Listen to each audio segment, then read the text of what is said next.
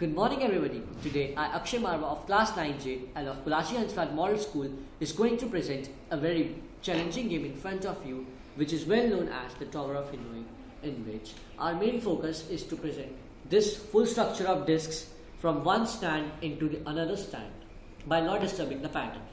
In this game we would uh, require some moves by which we will calculate it by 2 raised to the power n minus 1 in which n refers to the number of discs we would take.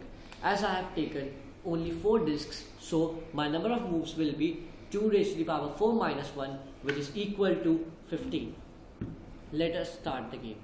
But we have to play this game by keeping one condition in mind that we can put a uh, we can put a, uh, a small radius size disc on a bigger radius size disc but we, uh, we will not put we cannot put a, a bigger disk on a smaller disk.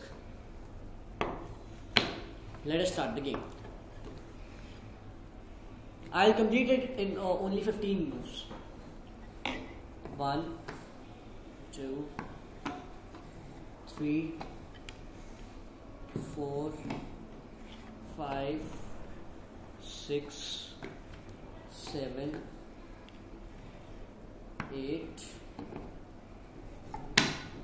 nine, ten,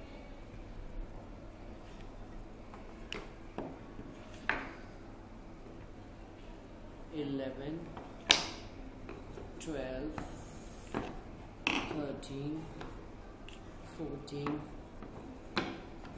and fifteen.